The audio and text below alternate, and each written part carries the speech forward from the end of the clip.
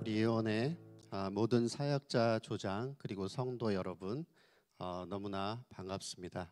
어, 그리고 어, 우리 대교구 어, 성도님들 또 이렇게 현장으로 또 뵙게 돼서 반갑고 어, 우리 예원의 모든 사역자 조장 우리 성도님들을 이렇게 생방송으로 또 온라인이지만 어, 만나게 되어서 또 너무나 감사를 드리고 또 반갑습니다.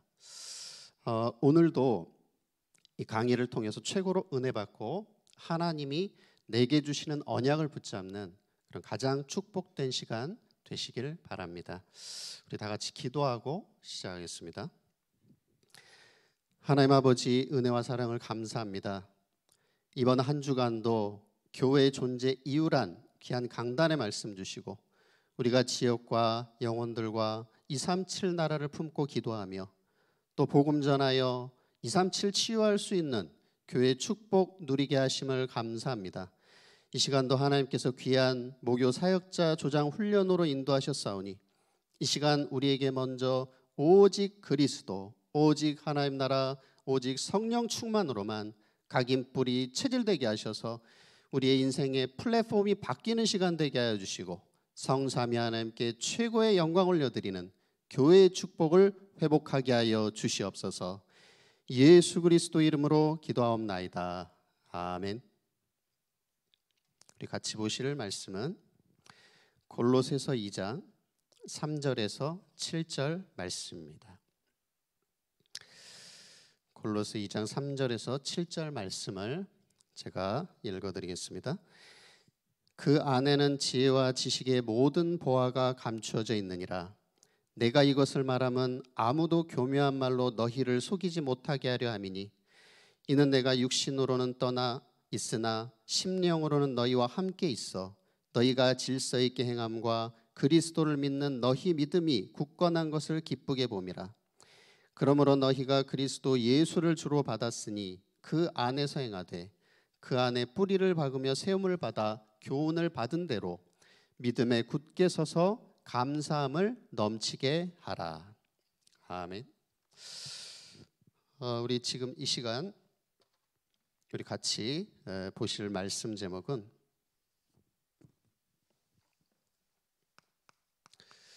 어, 우리 사역자 조자님들이 먼저 두려야 할 인생 플랫폼입니다.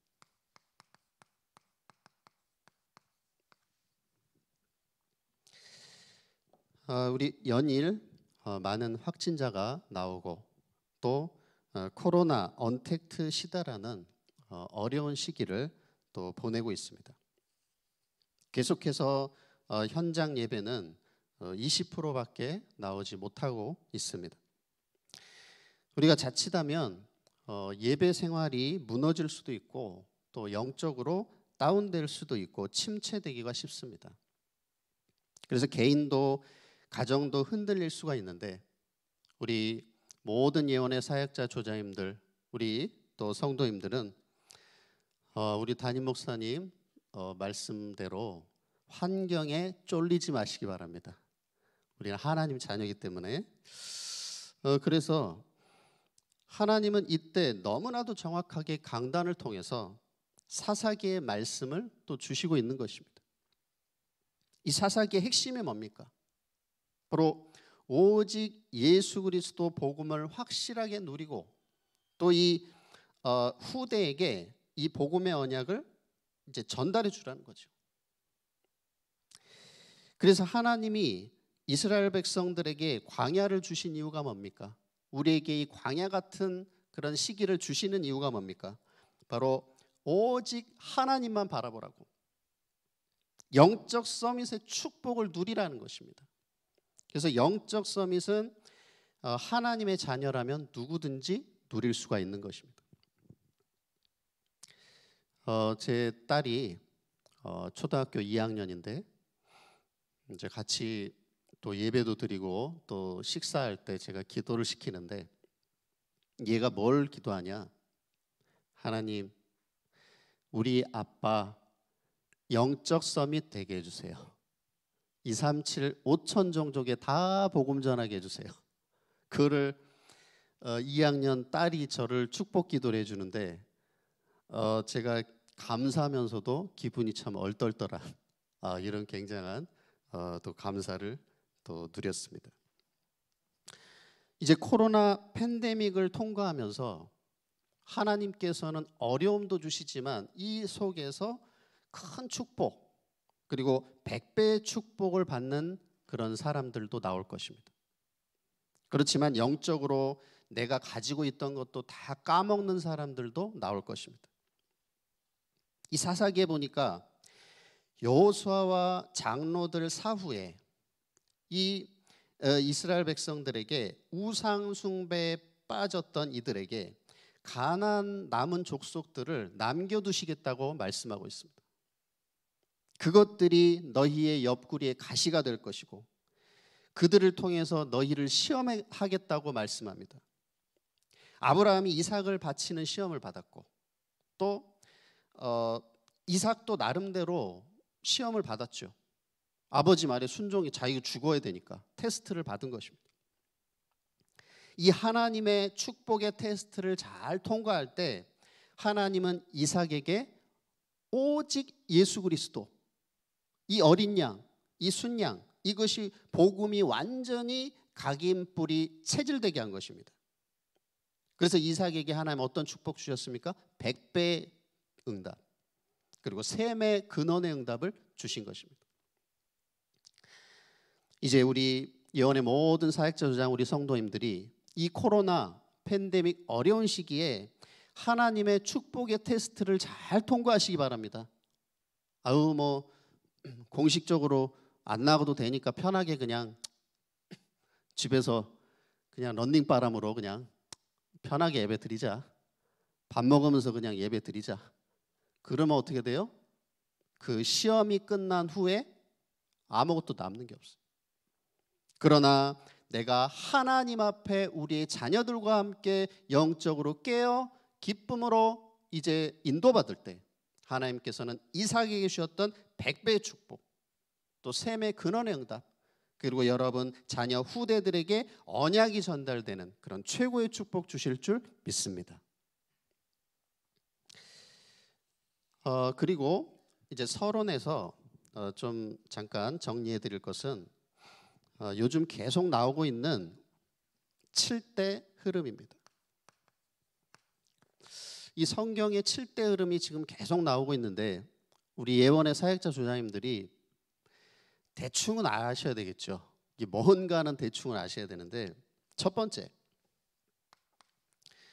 하나님이 나를 구원하셨는데 이 하나님이 어떤 하나님입니까? 성부, 성자, 성령으로 하늘에서 말씀을 성취하시고 내 기도에 응답하시고 성령으로 나와 함께 하시고 성자 예수님이 십자가에서 모든 문제를 다 해결하시고 성삼이 하나님이 나와 함께 하시지 않습니까? 어떻게 함께 하시죠? 하나님 자녀의 신분과 어마어마한 권세를 주시지 않았습니까? 그래서 내가 어떤 문제 사건 앞에서도 예수 이름으로 기도할 수 있고 그럼 하나님이 다 응답 주시고 이제 천군 천사 동원되고 흑암이 꺾이고 하나님의 나라가 임하는 이런 어마어마한 축복을 우리에게 주시지 않았습니까? 그럼 내가 이거 누리면 어떻게 돼요? 내가 어디에 있든지 어떤 상황과 어려움 가운데 있든지 이 임마누엘의 축복 속에서 승리할 수밖에 없고 문제와 위기와 사건 속에 더 하나님의 숨은 계획을 찾게 되고 요셉처럼 애굽에 팔려간 노예로 팔려갔는데 다윗처럼 어려운 가운데 죽음의 위협 속에 더 응답 받는 거예요. 네. 언약의 여정을 가는 겁니다. 그래서 나 때문에 다 또 살아나게 되는 겁니다. 그게 뭐예요? 혼자 살아남는 열 가지 비밀. 이게 당연히 따라올 수밖에 없는 겁니다. 응답으로. 그러면서 이제 하나님께서 나와 함께 하시면서 말씀을 주시고 성령으로 역사하시고 이제 뭡니까? 내가 있는 곳이 성교지가 되고 나를 통하여 하나님이 교회 축복을 이루어 나가시는 것입니다. 하늘에 영원한 이 상급이 보장되어 있는 것입니다. 이게 뭐죠? 열 가지 발판. 그러면서 우리에게 확실한 다섯 가지 키를 주셨지 않습니까? 이제 내가 예수가 그리스도임이 믿어진다면 여러분 구원받은 하나님 자녀입니다. 이제 주의 성령께서 여러분 완벽하게 인도하십니다. 내가 때론 실수할 때도 완벽하게 인도하세요. 그러면서 이제는 기도에 응답하시고 또 모든 과거 발판되고 이제 결국 그리스도 안에서 승리할 수밖에 없는 것입니다. 다섯 가지 확신. 그 다음에 이제 여러분이 현장 가서 뭐예요? 아홉 가지 포인트, 아홉 가지 흐름을 가지고 이제 현장 살리는 겁니다. 복음으로. 그래서 위 위로 하나님, 또 위에 사람, 옆에 또 아래, 과거, 현재, 미래, 깊이, 높이, 넓이, 깊이 넓, 너, 깊이, 넓이, 높이 이 아홉 가지 흐름으로 다 살리는 거예요. 그래서 우리는 복음 때문에 다 양보할 수 있습니다. 예. 류 목사님 그런 말씀하시더라고요. 복음 아닌 거 다 양보해라. 예. 다저 품어줘라. 그래서 류 목사님이 운전하다가 누가 끼어들거나 하면 이서 저 사람이 잘못했는데 옆에 와가지고 창문 열고 막 승질 내고 욕하니까 뭐라고 했다고요? 죄송합니다. 저쪽에서 잘못했는데 그, 네, 미안합니다. 그래서 보고만인 것은 다 양보. 네, 다 양보하시 바랍니다. 다 양보해주고 이해해주고 품어주고 중요한 거 아니잖아요. 그. 그러면서 이제 뭡니까? 내가 있는 곳에서 미리 보고 갖고 누리고 정복하고 이제 살리는 뭐예요? 전도자의 62가지 삶 이걸 누리는 겁니다. 그러면서 이제 뭡니까? 여러분이 가는 곳마다 여러분이 예배드리고 이러한 임마누엘의 축복을 누리는 곳마다 그곳이 뭡니까? 보좌의 축복이 성취되는 그것이 바로 하나님 나라의 일이 이루어지는 현장이 되는 것입니다. 그래서 이런 일곱 가지 어, 성경의 흐름을 여러분 잘 이해하시고 승리하시기 바랍니다. 먼저 첫 번째로 우리 전도자 여러분이 먼저 누려야 될 인생 플랫폼이 뭡니까? 바로 예배 은혜입니다. 이것은 하나님 자녀에게 아무리 강조해도 지나치지 않는 것이죠. 그럼 먼저 첫 번째로 어, 교재 드린 대로 성막의 구조와 의미를 어, 보면서 또 예배의 축복을 좀 깊이 어, 알아보도록 하겠습니다. 뭐 지금은 어, 성막 세미나 이런 건 아니기 때문에 어, 간단 간단 핵심 영적인 핵심만 좀 말씀드리겠습니다. 우리 성막 구조 그림을 좀 보면서 설명을 드리겠습니다. 그 다음 거 예, 성막 구조. 네. 여기 성막 구조가 간단하게 나와 있는데 먼저 지성소입니다. 이 지성소 안에는 어, 하나님의 법궤, 언약궤가 들어 있는데 어, 그 안에는 그 모세가 시내산에서 받은 그 십계명 돌판, 그 다음에 아론의 쌍난 지팡이, 그리고 만나 담은 항아리. 그래서 하나님의 말씀과 그리고 하나님의 권위와 그리고 임마누엘의 축복 이 증거가 담겨 있는 것입니다. 그래서 지성소는 성부 하나님의 사역을 말합니다. 그 다음에 어, 성소에 보시면 이제 어, 떡상이 있고 여러 가지 이제 기구들이 있는데 어, 떡상 등대 떡상은 생명의 떡 대신 예수 그리스도. 등잔대는 생명의 빛 대신 예수 그리스도. 분양단은 우리가 예수 그리스도 이름으로 24 기도의 축복 누리는 것 근데 이 기구들은 전부 이 기름을 칠했습니다. 기름은 성령을 의미하는데 그래서 성소는 어, 성령의 사역을 의미합니다. 그 다음에 어, 성막의 뜰입니다. 성막의 뜰에 보시면 어, 가장 중요한 번제단이 있습니다. 여기서 이제 제물을 바쳐서 태워가지고 죄사함 받고 예배 드린 거죠. 예수 그리스도 희생 유일한 희생 제물 대신 예수 그리스도. 그다음 물두멍은 뭐예요? 우리를 우리의 모든 죄를 씻어 주실 수 있는 이 생명수 대신 그리스도. 그래서 이 서, 어, 성막의 뜰은 바로 성자 예수 그리스도의 사역을 상징하는 것입니다. 그래서 이 성막이라는 것은 우리에게 성부, 성자, 성령의 성삼위 하나님의 축복을 우리에게 누리도록 주신 것입니다. 어, 여기서 또 주목하실 것은 이 성막의 뜰. 이 성막의 뜰은 이방인들이 와서 기도할 수 있는 공간이었고요. 그 다음에 여기서 기도의 뜰입니다. 치유입니다.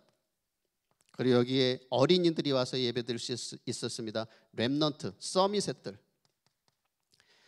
그래서 이제 우리 예언의 모든 성도 여러분이 이번 주 강단 말씀이 교회의 축복, 교회의 존재 이유 아닙니까?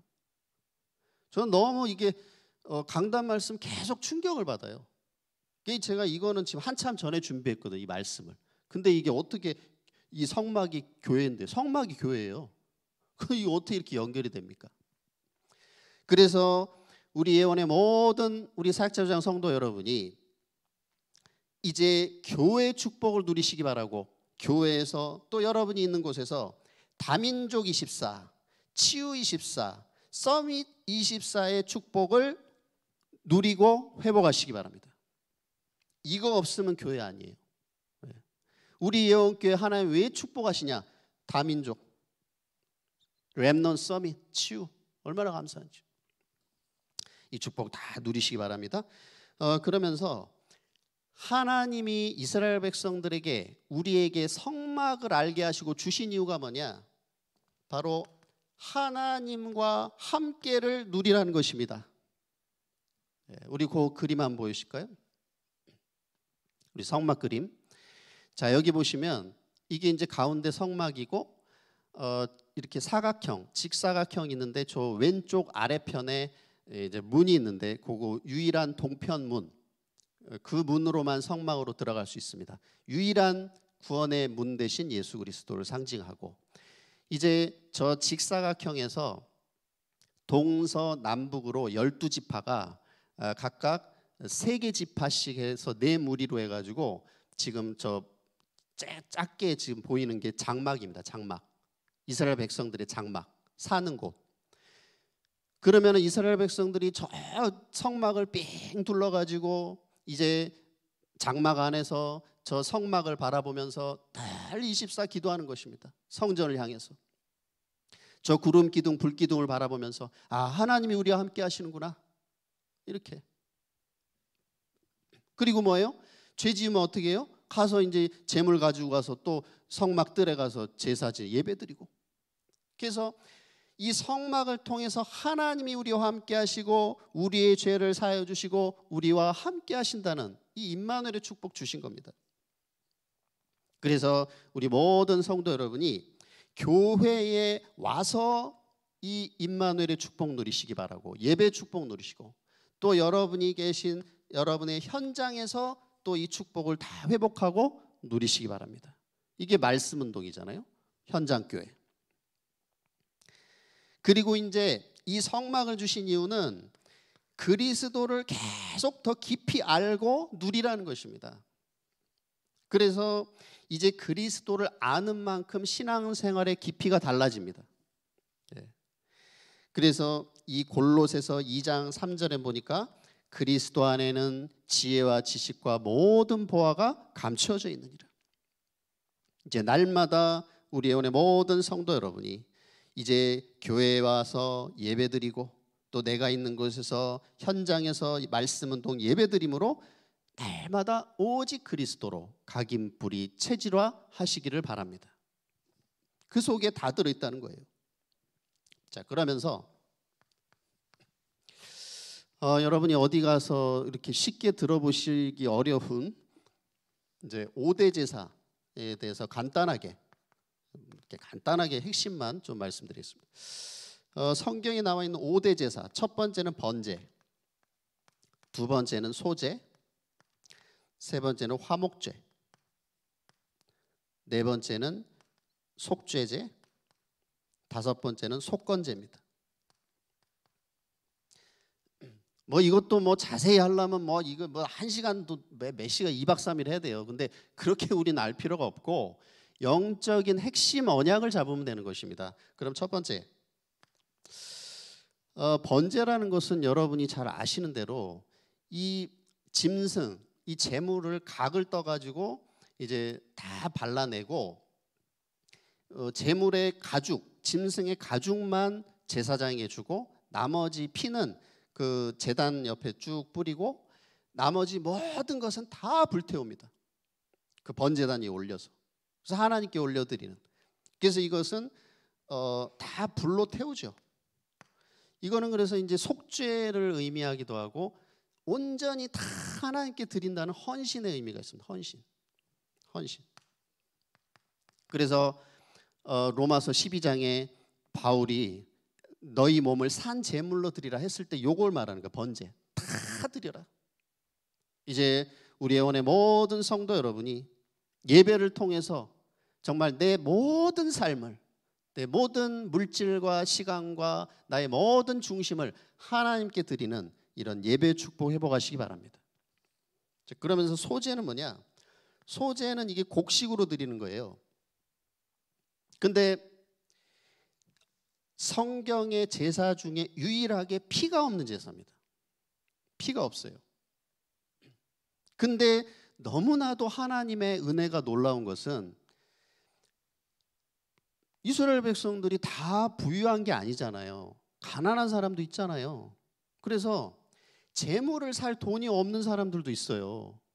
그래서 어, 최극빈층 가장 가난한 자들이 속죄를 받기 위해서 소제를 드렸습니다. 피가 없는데 소, 곡식으로 죄사함을 받았어요. 그러면 아니 피가 없는데 어떻게 제, 죄사함을 받아요? 피가 없는 이 곡식 제사를 통하여서 죄와는 전혀 무관한 상관없는 거룩하신 예수 그리스도를 상징하는 것입니다. 그래서 극빈층도 곡식을 통해서 죄 사함을 받을 수도 이렇게 했어요. 그래서 어, 어떤 분들은 그런 얘기 하더라고요. 가인과 아벨의 제사가 가인이 이제 피가 없어서 하나님이 제사를 안 받으셨다고 했는데 아니다. 이제 요거 얘기하나 봐요. 근데 중요한 건 뭐냐? 가인이 곡식으로 드렸던 짐승으로 드렸던 가인의 심령과 중심에는 피의 언약이 없었다는 거죠. 그게 중요한 것입니다. 그래서 우리 예원의 모든 성도 여러분 예배 드릴 때마다 예수 그리스도의 피의 언약으로 예배하시기 바랍니다. 그다음 뭡니까? 화목제. 화목제는 한마디로 하나님과의 관계를 회복해라. 지금 우리 성도 여러분에게 가장 시급한 게 뭡니까? 경제입니까? 건강입니까? 천만의 말씀. 지금 나에게 가장 시급한 거는 하나님과 관계를 회복해야 돼요. 하나님과 관계. 내가 하나님과의 관계가 먼저 회복될 때 인간관계 회복됩니다. 물질이 경제가 회복됩니다. 건강이 회복됩니다. 하나님 관계 하나님과의 관계가 막혀 있는데 뭐가 되겠어요? 그래서 이 화목제 영적 의미를 통해서 우리 영혼의 모든 성도 여러분이 예배를 드릴 때마다 하나님과 관계를 먼저 회복하시기 바랍니다. 그러면 다 회복되는 거예요. 대인 관계, 대물 관계 다 회복이 되는 것입니다. 그리고 이제 여기서 어, 재밌는 게 뭐냐? 화목제를 드리고 요 어, 제사 드린 걸 가지고 뭘 했냐면은 이웃들하고 나눴어요. 여러분이 내가 예배 드리면 혼자 은혜 받고 끝나는 게 아니고 내가 하나님과의 관계가 회복되고 하나님 주신 응답 성령 충만 받고 그 은혜를 이제 주변에 죽어가는 많은 영혼들에게 나누는 여러분이 생명 구원의 교회 축복 누리시기 바랍니다. 치유 서밋. 이게 우리 새 생명 초청 캠프잖아요. 그러면서 어, 속죄제는 뭐냐? 바로 유일한 우리의 희생 제물이요 대속물은 누구죠? 바로 예수 그리스도다. 그 어떤 제물도 안 되죠. 소 잡고 양 잡고는 계속해야 되죠. 그러나 유일한 화목 제물 대신 예수 그리스도가 단번에 죽으심으로 영원히 구원의 길을 여셨다. 구원 사역을 완성하셨다. 이 속죄제 마지막으로 속건제는 뭐냐? 이제 하나님의 성물을 범했거나 그리고 다른 사람의 어, 이웃의 재산 재산 피해를 줬을 때 이제 어, 5분의 1을 플러스해서 원래 원금에다가 5분의 1 그러니까 20%를 더 덧붙여서 주는 거예요. 교회 내고 그 피해 입힌 이웃에게 주고 그러고 나서 하나님 앞에 와서 드리는 제사가 속건제입니다. 이것은 뭘 말합니까? 예수님 뭐라고 말씀하셨죠? 먼저 형제와 화목하고 와서 예배드려라.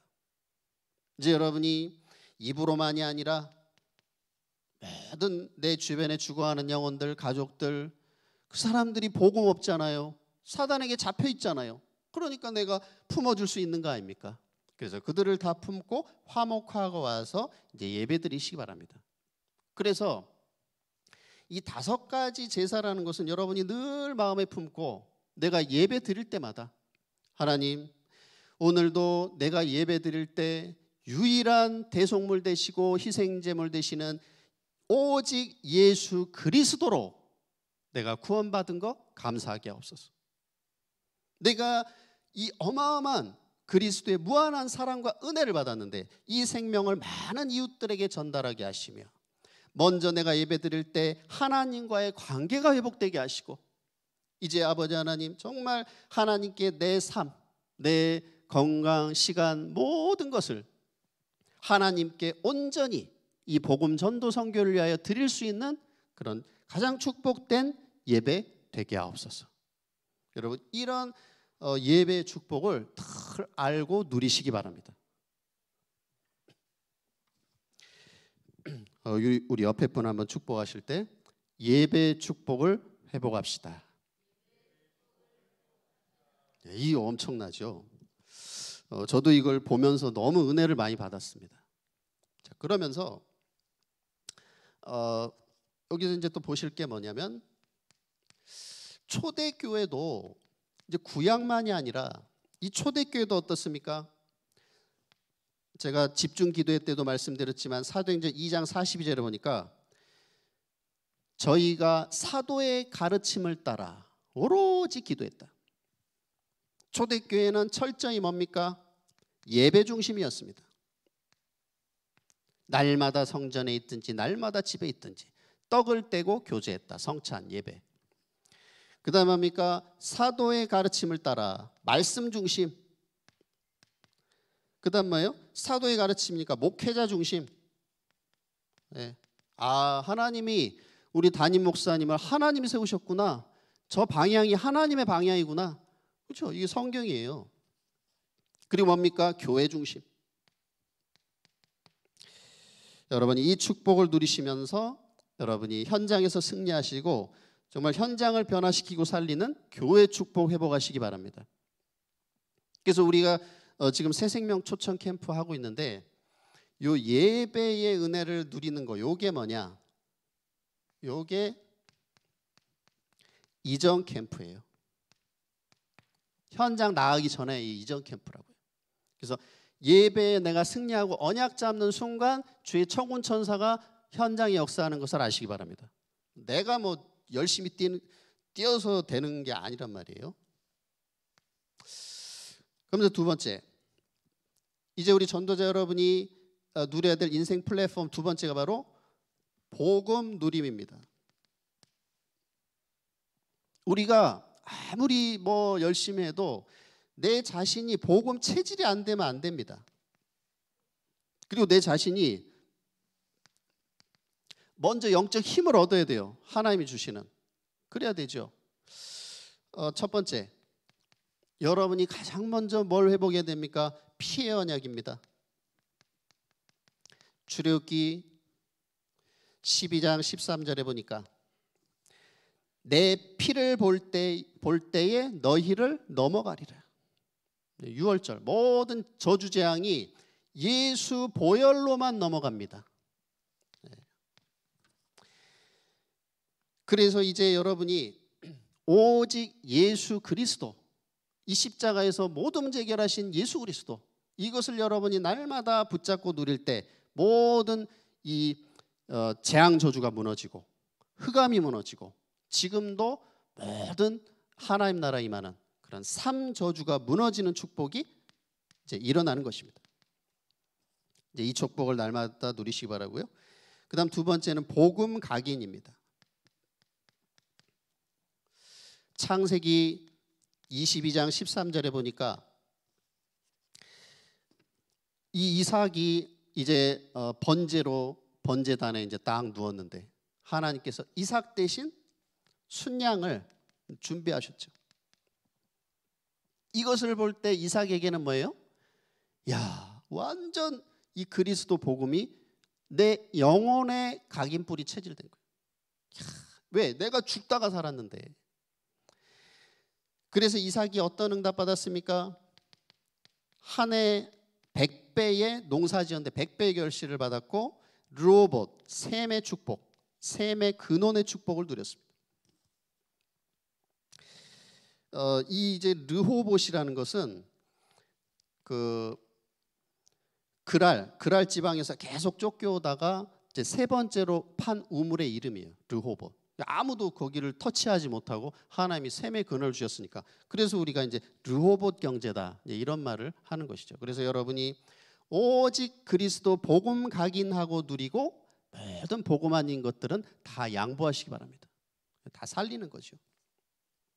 자 그러면서 그래서 우리 인생의 가장 우선순위가 뭡니까? 이 복음 각인입니다. 그래서 우리 자녀 교육의 최고 우선순위도 바로 복음 각인인 것을 아시기 바랍니다. 뭐 무슨 뭐 ABCD 하나 더하고 더하기 빼기 하나 더하는 게 아니란 말이죠. 그렇죠? 이 가장 중요하죠. 어, 제가 어제 또 그 휴일 아니었습니까? 어, 아이하고 이제 아이가 이제 학교 안 가고 이제 집에 있었는데 이제 그 학습지를 해요. 이제 구몬, 구몬이라고 학습지를 하는데 이제 구몬 선생님이 이제 오셨어요. 그래서 어, 너 구몬 선생님한테 복음 전해 봤니? 복음을 한 번도 안 전했다고. 그래서 그러면 오늘 아빠하고 복음 좀 전하자. 그 너가 아빠가 전도 책자 줄 테니까 너가 거기다가 선생님 그 짧게 너가 메모를 써라. 그리고 선생님 드리자. 그렇게 하고 어, 수업 마치, 마치면서 어, 제가 이제 같이 얘기하는데 어우 우리 선생님 너무 이렇게 휴일날도 수고가 많으시네요. 보니야 너 준비한 거 선생님 드려라. 그랬더니 선생님 받으시다. 근데 시, 선생님 혹시 신앙생활은 하시나요? 그랬더니 아, 네 제가 교회 다니는데요. 요즘 코로나 때문에 못 나가고 있는데요. 기도하고 있어요. 하시는 거예요. 그러니까 우리 애도 저희 집사람도 이 선생님 매 교, 집에 자꾸 오는데 자주 오는데 교회 다닌다는 건 처음 알았죠. 어제 전도자로 드리고 이렇게 했는데 뭐 가시니까 또 수고하시라고 제가 집에 있는 거 음료수도 하나 가시면서 드시라고 딱 같이 드리고 그런데 이제 제가 어, 아이한테 야 너 아빠가 이렇게 네가 보는 데서 전도하고 또 아빠랑 같이 기도하고 전도하니까 너 어떠니? 얘 표정 있죠? 말로 표현할 수 없는 너무 기쁜 표정. 너무 너무 좋아요. 너무 자기 마음이 기쁘다. 너무 전도해 보니까 너무 기쁘다는 거예요, 자기가. 너무 감사하다고. 그래서 이것보다 더 큰 교육은 없는 줄 아시기 바랍니다. 할때 그 너무 고, 공부 강조하는 분들은 저를 좀 싫어할 거예요. 저는 그 복음 교육이 최고로 저는 강조하기 때문에 예, 나머진 다 됩니다. 지혜를 주시니까. 어, 그러면서 여러분이 아셔야 되는 게 뭐냐? 세절기입니다. 세절기.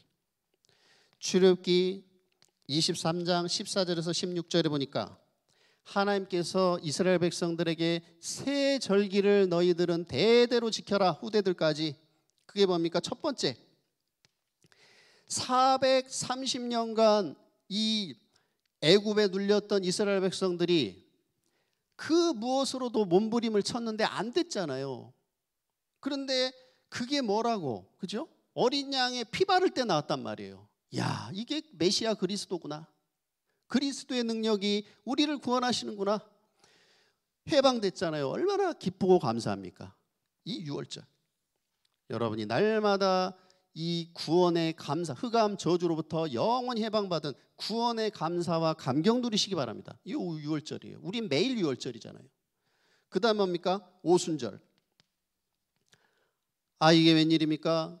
아이 노예 생활했는데 이제 약속의 땅 가나안까지 들어와 가지고 여기서 곡식을 거뒀네요. 이게 뭐예요? 오순절. 하나님 나를 구원하시고 지금까지 축복하시고 인도하심을 감사합니다. 성령의 내주 인도 역사. 이거 우리 날마다 누리잖아요. 오순절. 그다음 수장절이 뭡니까? 야, 이걸 곡식을 거뒀는데 우리 이제 장막. 그때 이스라엘 바 장막에다 그걸 딱 저장을 하는 것입니다. 이게 뭐예요? 보장. 하나님의 보장. 우린 이제 이 땅에 살지만 이 땅에서 하늘 보좌의 배경을 가지고 천국의 축복을 하나님 자녀 신분 권세 누리고 영원한 천국으로 가는 것입니다. 그래서 날마다 오직 이 유월절, 오순절, 수장절의 축복을 날마다 누리시기 바랍니다. 그리고 이제 뭡니까? 신의 산. 신의 산에서 하나님이 모세를 불러가지고 뭘 주셨냐? 율법과 성막을 주셨습니다. 율법이 뭐예요? 십계명이잖아요. 이건 뭐예요? 다 지키라는 거예요. 물론 축복이 있지만 지키라는 거예요. 근데 율법만 줘놓고 끝나면 얼마나 눌립니까? 해결할 방법이 없어요. 그런데 하나님께서 너무나 감사한 것은 율법과 함께 그것을 어, 완성할 수 있는 성막을 주신 겁니다. 너희가 율법을 통해서 하나님이 기뻐하시는 삶을 깨닫고 죄가 무엇인지를 분별하고 그리고 안, 저, 죄 가운데 빠질 때 성막을 통해서 이제 예배를 통해서 승리해라.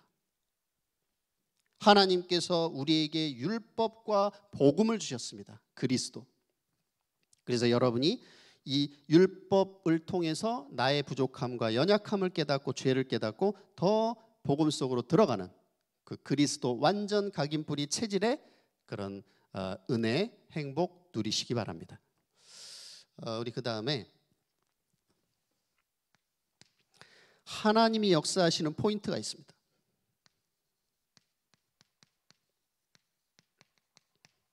자 그러면 우리가 예배 은혜를 받았고 복음을 누렸다면 언제 그러면 하나님이 역사하시느냐? 이걸 알, 우리가 알고 누려야 되겠죠. 첫 번째, 하나님은 잘난 자, 무슨 똑똑한 자를 쓰시는 게 아니고 하나님은 언약 잡은 자를 쓰시는 겁니다. 언약 잡은 자. 출애굽기 3장 14절에 보니까 모세야 스스로 있는 자가 보내셨다고 얘기해라. 네, 뭐예요? 언약 잡고 가라는 거예요. 네가 하는 거 아니니까. 내가 보내니까 언약 잡고 가. 출애굽기 6장 8절에 뭐라고 그랬습니까? 아브람과 이삭, 이삭과 야곱에게 주시기로 한 그 맹세한 땅으로 너희를 인도하고 그 땅을 너희에게 주어 기업을 삼게 하리라. 네. 이 가나안 정복은 조상 대대로 약속하신 언약이라는 것입니다. 그래서 이제 여러분이 언약 잡고 나갈 때 이제 지역을 정복하는 축복 누리게 될 줄 믿습니다. 그리고 뭐예요? 예수님이 마태복음 28장 18절에서 20절에 뭐라고 했습니까? 너희는 너희는 가서 이 너희가 누굴까요?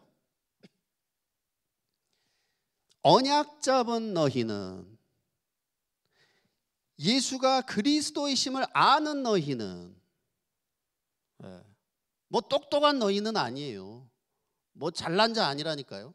언약 잡고 그리스도 하는 너희는 여러분 언약 잡고 승리하시기 바랍니다. 언약만 잡으면 끝이에요. 자, 그다음에 두 번째. 언제 하나님이 역사하시냐? 바로 하나님의 절대 계획입니다. 그러면은 이제 역사하시는 거예요. 자, 출애굽기 14장 13절 20절에 홍해가 나왔습니다. 여호수아 6장에 보니까 여리고성이 나왔네요. 여호수아 10장에 보니까 이 아모리 연합군하고 여호수아가 막 이스라엘 저 군대가 전투를 하는데 이게 해가 지네요. 이거 큰일 났네. 지형을 모르는데 껌껌하면 이제 다 죽는 거예요. 이때 뭡니까? 아얄론. 아얄론 골짜기에서 이때마다 하나님 어떻게 역사하셨습니까? 하나님께서 모세의 마른 막대기를 통해서 홍해를 가르시고 여리고가 무너지고 여호수아가 기도할 때 태양과 달이 멈추는 그런 놀라운 기적 역사를 이루신 것입니다. 말이 됩니까 이게? 그래서 여러분이 분명히 하나님의 절대 계획 언약 잡으시기 바랍니다. 여러분이 계신 곳, 이 지역 보고마 그리고 현장 보고마는 하나님의 절대 계획입니다. 내 계획이 아니에요.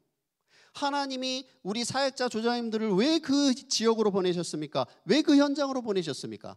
하나님께서 여러분 통해서 현장 살리시기 위해서 보내신 줄 믿습니다. 언약만 잡으면 기적이 일어난다니까요. 승리하시 바라고요. 어, 그 다음에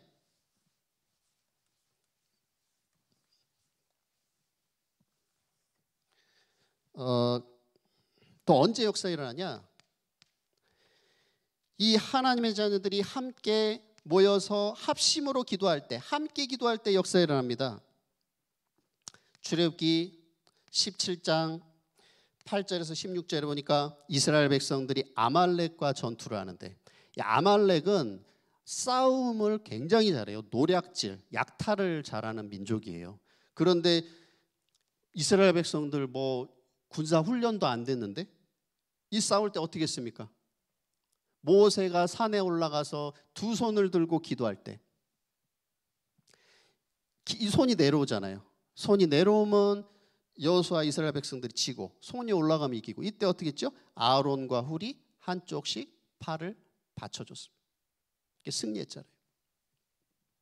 이제 우리 예원의 모든 성도님들이 담임 목사님을 위해서 늘 기도하시기 바라고 또 이제 지역에서 우리 목사님들 또 전사님들 위해서 늘 기도하시기 바라고 그래서 기도 함께 기도하시기 바랍니다. 함께. 그럼 역사 일어난다니까요. 이번 캠프도 새 생명 초청도 마찬가지입니다. 그래서 아예 뭐 알아서 하겠지. 그거는 제가 볼 때는 어, 죄송합니다. 성령의 사람이 아닌 것 같아요. 예, 분명히 승리하시기 바라고요. 어, 그리고 언제 역사 일어나냐? 영적 지도를 잘 따를 때, 뭐 나 혼자 잘났다고 뭐 나 훈련 많이 받고 나 메시지 많이 한다? 절대 하나님의 역사 안 하십니다. 그큰 착각이에요. 그래서 바울이 아덴에 혼자 가서 전도했을 때 완전 그 대실패했거든. 그래서 사도행전 15장 16장에 보니까 바울은 그 1차, 2차, 3차 전도 여행, 전도 캠프 갔다 오면 항상 베드로 무식한 베드로 총회장님한테 보고하고 베, 저 예루살렘 총회 장로들의 지시를 받았습니다. 그리고 그 결정된 사항, 뭐 우상 숭배에 대해서 또 어, 할례에 대해서 요렇게 요렇게 현장에 가서 전달해라. 그걸 그대로 전달할 때 빌립보 지교에 막 역사가 일어났어요. 막, 막 구원받는 사람이 돌아오는. 그래서 여러분이 교회의 지도, 목사님과 전사님과 이 영적 지도를 잘 따라서 그 이 성령의 인도를 잘 받으시기 바랍니다. 그게 역사 일어나는 포인트라니까요, 그게. 성경대로 말씀대로 인도받아야죠. 그다음에 뭡니까? 여러분이 문이 막힐 때 사도행전 16장 6절에서 10절에 이 드로아의 밤에 바울이 깊은 기도 속으로 들어갈 때 저 마게도냐에서 손짓하는 그런 환상을 하나님 보여주시면서 아 마게도냐로 가게 된 것입니다. 이제 여러분이 내 계획이 아니고 아이고 이거 뭐 초청 캠프 하는데 뭐 되지도 않네 영접도 안 하네 그게 아니에요. 하, 내 계획이 아니고 하나님의 숨은 계획을 찾아서 끝까지 성령 인도 받으시 바랍니다. 예. 왜 자꾸 내가 어, 하면 안 되죠? 내가 하려면 안 되고요. 자 그러면서 자 이제 마지막으로 어, 사역자 우리 조장님들의 미션 미션이 뭐냐? 사명.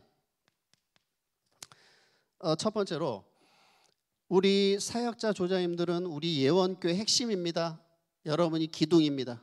그럼 여러분이 먼저 인생 플랫폼이 뭐가 돼야 되냐? 이제 그리스도 결론 났잖아요. 이제는 오직 전도에 완전 결론 내시기 바랍니다. 이 바울 있죠? 사도행전 20장 24절에 보니까 나의 달려갈 길과 주 예수께 받은 사명 이 생명의 복음을 증언하는 일을 마치려면은 내 생명조차 조금도 귀한 것으로 여기지 아니하노라. 아 여기서 계산이 어디 있습니까? 계산이. 바울이 바보입니까? 근데 이 복음 속에 전도 속에 다 있다는 걸 본 거예요. 이게 가장 좋다는 걸 본 거예요. 그리고 뭡니까?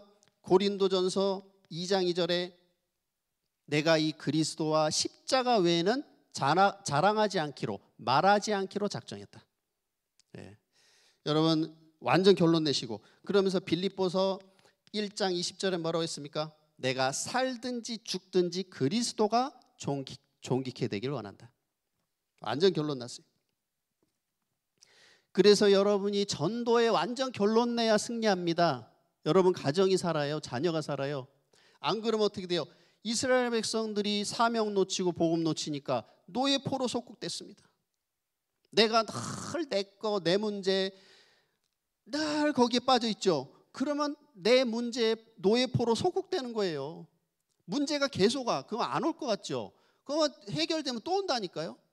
그러나 여러분이 그리스도 전도의 결론 날 때 문제가 더 이상 나랑 아무 상관이 없게 될 줄 믿습니다.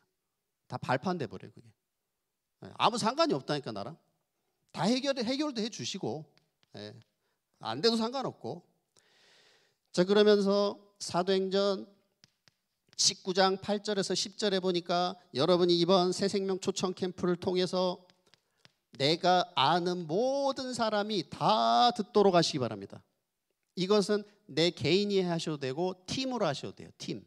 지역에서 팀. 어 그래서 어 지금 그 우리가 6월 첫째 주까지 사실은 그 기도를 하는데 남은 이번 주 하고 다음 한번 볼 3주 남았어요. 3주. 그러니까 지금부터 하셔도 얼마든지 하실 수가 있다는 것입니다. 예. 아유 뭐 다 지나갔네. 절대 그렇지 않습니다.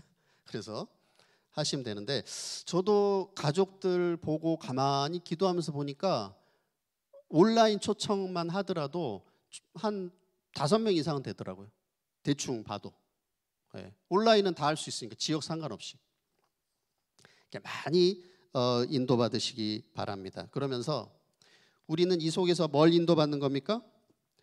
사도행전 13장 48절에 영생 주시기로 작정된 자 작정된 자 제자를 찾는 겁니다. 예. 계속 이제 복음 전하다 보면 이게 나오잖아요. 반응이 나오고 그러면서 우리는 여기서 뭘 찾아야 되냐? 지속할 장소와 지속할 사람을 찾으면 되는 것입니다. 그래서 사도행전 16장에 보니까 루디아, 루디아와 그의 집. 로마서 16장에 보니까 브리스가 아굴라와 그의 집. 그리고 골로새서 4장 15절에 보니까 눈바, 눈바와 그의 집. 이렇게 나옵니다. 그러면서 이제 여러분이 아주 중요한 게 뭐냐? 이번에 이제 온라인으로 현장으로 새 생명을 초청합니다. 그러면 이제 그들을 양육을 해야 될 거 아닙니까? 그들을 붙잡고 말씀 운동해야 될 거 아닙니까? 그럼 누가 하죠? 누가 말씀 사역자입니까? 민수기 11장 29절에 보니까 하나님은 모든 백성이 다 선지자 되기를 원하신다. 이제 우리 예원의 모든 우리 사역자 소장님들 또 예비 우리 모든 성도님들이 전 성도가 이제 말씀 사역자로 하나님이 부르신 것을 아시기 바랍니다. 내 제 얘기가 아니잖아요. 네, 하나님 말씀이잖아요. 모든 사람이 선지자 되기를 원한다. 그래서 분명히 아실 것은 어, 우리 예원의 모든 성도님들은 뭐 새 가족 제외하고요. 지금까지 복음을 많이 들어오셨습니다. 예, 그것만 활용하셔도 충분합니다. 그리고 어, 이새 가족은 그 복음을 처음 들어요. 들어본 적이 없어요. 그래서 여러분이 잘하는지 못하는지 전혀 모릅니다. 그렇기 때문에 편안하게 하시면 됩니다. 뭐 나는 못해요. 뭐 아예 어디 무슨 목사님들 앞에 가서 메시지 합니까? 아니라니까요. 처음 듣는다니까 다. 그냥 가서 읽어줘, 읽어만 줘도 역사하신다니까요. 그래서 우리 예원의 모든 성도님들은 다 말씀 사역자로 쓰임 받으실 자격이 있고 함께 하실 줄 믿습니다. 네, 다 충분히 되는 거예요. 네, 이미 다 하나님 함께 하시고. 아, 그래서 하나님이 이번 캠프를 통해서 이제 많은 많은 문들을 열어 주실 겁니다. 그런데 중요한 거는 뭐 어떻게 해서든 문은 다 열릴 수 있어요. 그런데 중요한 거는 말씀 사역자가 얼마나 준비되느냐에 따라서 그 문이 크고 작고가 좀 나눠집니다. 바울이 2차 순회 캠프 1차 때는 어 뭐큰 어, 비교적 물론 1차 때도 역사 많이 일어났지만 2차 순회 때 빌립보 지교회, 고린도 데살로니가 지교회 이 다 세워졌어요. 이때 누가 동행했냐면 바로 의사 누가, 그 다음에 디모데, 신라 이런 사람들이 다 말씀 사역자예요. 말씀 사역자 딱 준비돼서 같이 도니까 이게 막 문이 막 어마어마하게 열려버려요. 그래서 여러분이 이런 부분에 여러분은 사역자 조장님들이시기 때문에 기도로 또 준비하시기 바랍니다. 네, 그래서 전혀 어렵지 않다는 거, 내가 지금까지 훈련받았던 것을 잘 활용만 하시면 된다는 것입니다. 어, 제가 전에 그 안산에서 좀 사역을 할때 어, 안산에 가면 와동이라는 동네가 있습니다. 어, 지금은 모르겠는데 그 제가 사역할 때그 전국 무당집 집중률 1위 와동이란 곳이. 거기 무당집이 얼마나 많냐? 그 적은 한 동에 무당집이 몇백 개가 있어, 몇백 개. 그러니까 골목을 보면 양쪽으로 깃발이 쫙 있어요. 그 저는 무당촌에서 제가 한 3년 살았습니다. 무당촌에서. 왜냐면 저거 그 거기 배정을 받았어요, 제가. 그 거기 갔는데 정말 눈물 나더라고요. 예, 현장이 너무나 애통한 현장, 황폐한 현장, 너무 눈물이 나고. 이제 여기서 말씀 운동을 펴야 되겠다. 그래서 어, 거기에 보니까 어떤 권사님이 한 분 사시더라고요. 그 두 가정인가 있었어요. 그 동네 그 지역에 사는 가정이 우리 교회 두 가정. 그 권사님한테 우리 이제 다락방 하시자고. 그런데 이제 이 다 시간 정해놨는데 이분이 어떨 때는 가만히 있고 어떨 때는 없어 또 아무 말도 없이 없고 어떤 때는 가보면 문도 잠겨 있고 아니 권사님 우리 다락방 하기로 했잖아요. 나오고 깜빡했네 막, 막 빵꾸도 내고 가면 없고 아, 화나잖아요. 근데 그거를 어, 한 2년 3년 지속했습니다. 계속 한 거예요 그냥. 근데 하나님이 어떻게 역사하셨냐? 나중에 알고 보니까 그 권사님이 자기 어머니가 그 무속인 이 과거에 그리고 자기도 약간 시달렸고 신기가 오고 그러니까 제 예상에는 이분이 눌렸나 봐. 저랑 다락방 할 시간이 되면 막 눌리고 시달렸나 봐. 그러니까 막 도망가기도 하고 막 문 걸어 잠그고 했나 봐요. 근데 말씀 운동을 한 사람 붙잡고 한 3년을 지속하니까 거기에서 무당 돌아오고 지교에 세워지고 하나님이 연결도 하시고 뭐 자꾸 막 이렇게 사람들을 보내주시니까 거기 지교회가 세워졌어요. 그래서 어, 무당집을 하나 철거를 하는데 그 이제 이분이 무속인 출신이니까 집안이 무속인 배경이니까 무당들을 잘 만나더라고요 접촉을. 그 거기가 이제 다 무당촌이니까 아 그래서 이런 사람 예배해 주셨구나. 그래가지고 그분이 중심이 돼가지고 무당 전도 팀이 이제 만들어지고 이 무당을 이게 철거를 하러 가는데 저도 이제 처음 치워봤죠. 그 가보니까 이 이거 있잖아요. 그 불 불상 같은 거 금칠해 놓은 거 있잖아요. 근데 그거를 아무도 손을 안 대더라고요. 좀 약간 성도들은 겁나나 봐 또. 그래서 제가 야 이거 내가 들어야 되겠다고 드는데 이게 너무 가벼운 거예요. 그 들어보신 분은 아실 겁니다. 이게 금덩어리 같죠. 속엔 텅텅 비었어요 이게. 그러니까 종이로 만든 거예요. 종이. 종이에다가 금칠해 놓은 거야. 그 겉에다는. 그걸 갖다가 그냥 트럭에다가 갖다가 던져버렸어. 그리고 가서 뺨도 안 댔다. 야, 이 네가 막이냐? 네, 어? 네 뭐라고 네가 사람들을 물론 이게 귀신은 아니지만 근데 여러분 그 무당 깃발이나 그 부적 같은 거 불신자가 손대면 죽는답니다. 아무나 손대면 뭐 이렇게 막 귀신이 해코지 하든지 죽는데요. 근데 막 야, 너 그날 잠 편하게 잤어요. 얼마나 기쁜지. 네, 너무 행복하게 잘 잤습니다. 너무나 감사하고. 어, 그래서 여러분이 우리 강단에서도 말씀하셨잖아요. 이 성경의 원리라니까요. 지역에서 한 사람만 붙잡고 3년만 말씀을 통해도 역사를 한다니까요. 정말 해보시기 바랍니다. 자 이제 결론입니다. 이제 우리는 어떻게 하면 잘 먹고 뭐 잘 살까 맨날 우리는 예, 여러분은 안 그러시겠지만은 웰빙 어떻게 하면 잘 먹고 잘 입고 뭐 맨 이것만 관심 있어.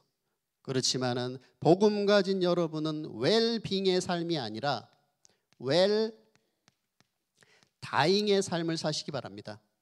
아, 어떻게 하면 내가 가치 있는 죽음을 죽을 것인가?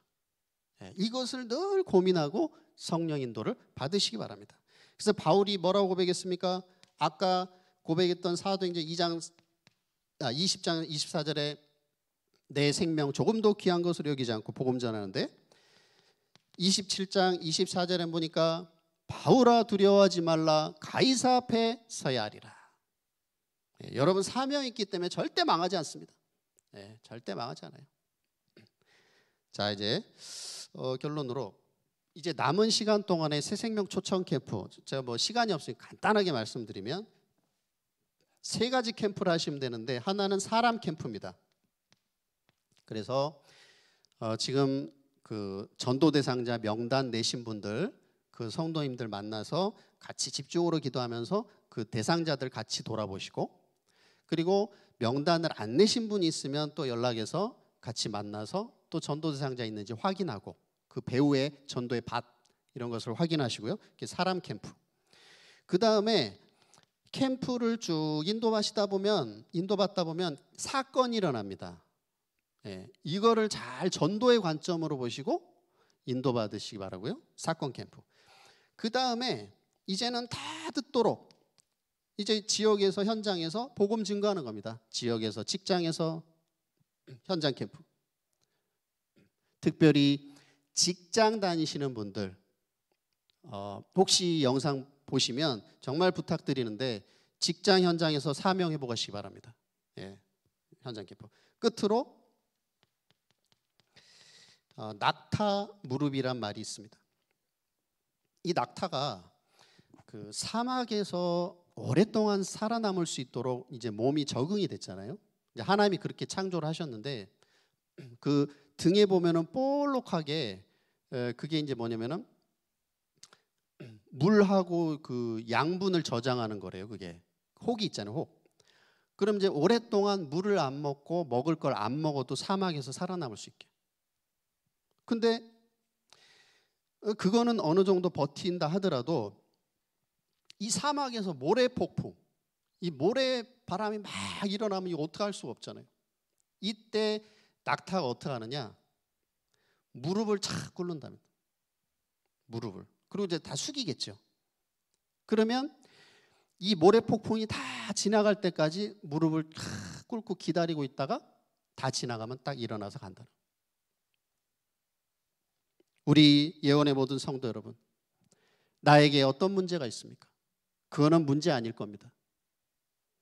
이제 여러분이 이 새 생명 초청 캠프를 앞두고 정말 나에게 있는 이 환경과 또 이 죽어가는 현장과 또 이 교회 시간표와 언약을 붙잡고 하나님 나는 할 수 없지만 전능하신 하나님께서 역사해 주시옵소서 이렇게 하나님이 역사하실 것을 기대하고 하나님이 해결하시고 문 열어 주실 것을 기대하고 낙타 무릎으로 기도하시기 바랍니다. 이때 하나님께서는 모든 흑암을 꺾고 이제 전도의 문을 여시고 하나님께서 큰 영광을 받으실 줄 믿습니다. 그래서 오늘 말씀을 통해서 이제 어 정말 아까 처음에 말씀드린 예배 축복이 뭐냐? 그게 위드예요. 복음 누림 뭐예요? 임마누엘. 하나님의 역사는 원리스입니다. 오직 그리스도 하나님 나라 성령 충만.